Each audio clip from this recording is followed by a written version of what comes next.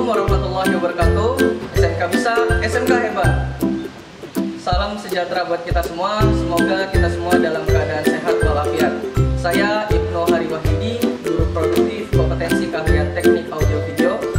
Pada video kali ini kita akan mempraktikkan cara pembuatan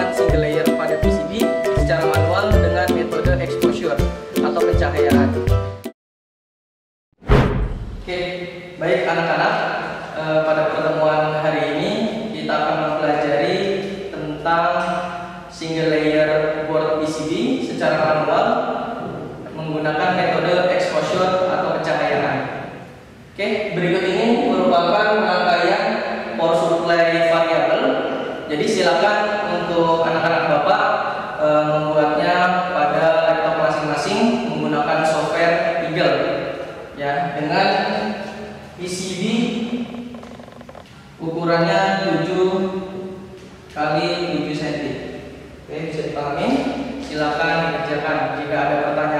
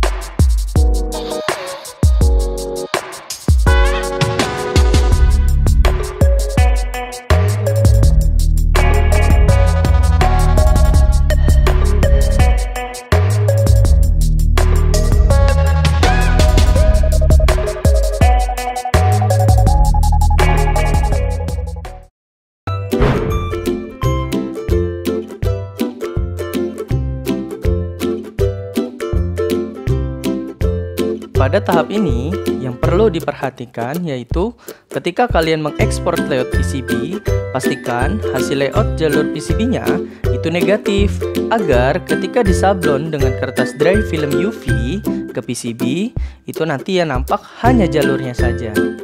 Pada tahap cetak PCB, yang perlu kalian perhatikan yaitu hasil print layoutnya harus benar-benar hitam atau hitam pekat. Disarankan untuk di print layoutnya menggunakan printer laserjet atau kalian bisa print di mesin fotokopi agar hasil layout PCB-nya nanti itu jauh lebih hitam.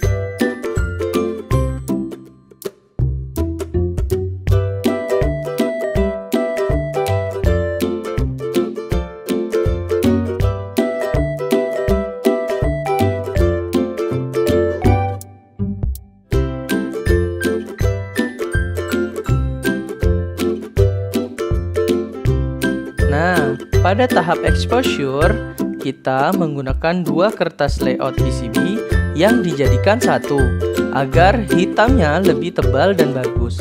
Sehingga ketika nanti di exposure atau di sinar UV, jalur layout pada PCB itu benar-benar tersablon lebih jelas. Dan kita setting waktu exposure atau pencahayaan UV itu selama 7 menit saja. Jika terlalu lama, nanti jalur yang tersablon itu tidak akan nampak pada PCB.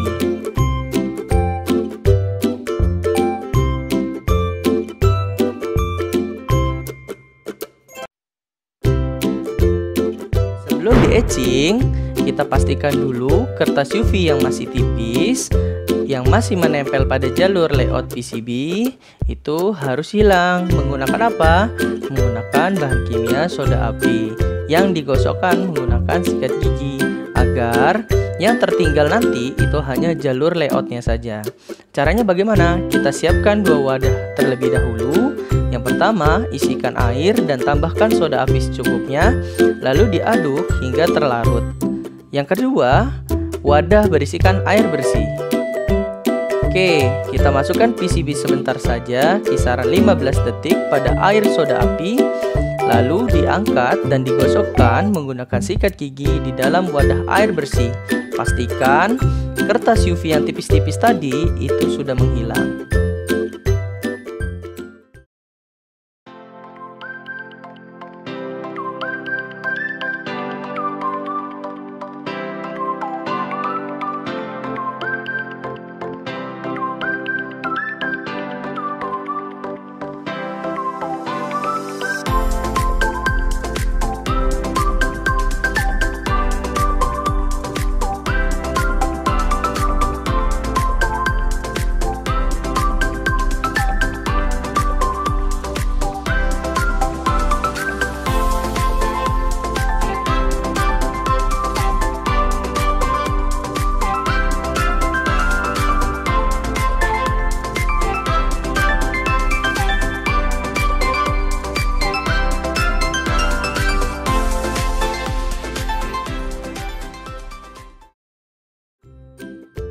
Dalam proses pelarutan ini hanya membutuhkan waktu 20 detik saja. Dan keuntungan dari bahan kimia yang kita gunakan itu dapat mempercepat waktu proses pelarutan dalam hitungan detik saja. Beda dengan bahan kimia lain seperti ferriklorid atau pembersih lantai. Setelah dilarutkan, yang tersisa pada tembaga PCB hanya jalurnya saja. Untuk menghilangkan kertas UV yang masih menempel, kita masih menggunakan bahan kimia yaitu soda api. Kembali kita cemplungkan e, pada larutan soda api lalu diangkat dan disikat menggunakan sikat gigi. Lalu dibersihkan menggunakan air bersih.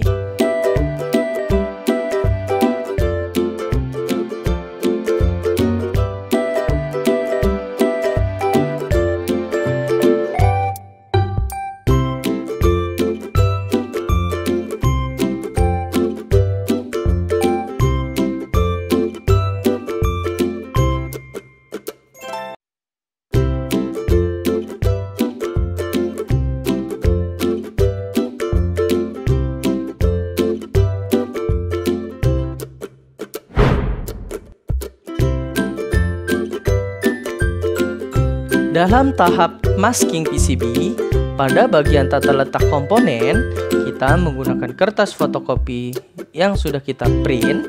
Lalu teknik yang digunakan yaitu menggunakan sablon autan yang ditempel pada kertas layoutnya. Jika sudah berhasil disablon, lalu dikeringkan terlebih dahulu, kemudian kita semprot menggunakan pilok clear atau bening agar hasil sablonan pada PCB itu tidak rusak.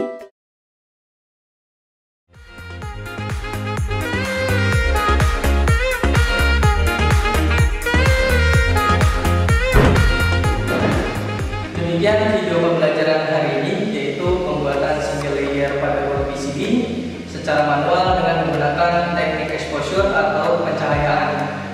Mudah-mudahan video pembelajaran kali ini dapat dipahami dan bermanfaat. Saya Ibnu Haribuddin. Wassalamualaikum warahmatullahi wabarakatuh. SMK bisa, SMK hebat. Assalamualaikum warahmatullahi taala Perkenalkan, nama saya Muhammad Elon ST dari PT Bakri Pahit Industries. Pada kesempatan ini, saya akan review video pembelajaran dengan unit potensi, merancang dan membuat single layer PCB secara manual dengan metode exposure. Pada dasarnya, dalam video tersebut sudah sesuai dengan yang ada di industri. Adapun mungkin ada perbedaan, namun dapat dikatakan masih wajar karena dalam video ini hanya untuk pembelajaran. Sekian review dari saya. Assalamualaikum warahmatullahi wabarakatuh.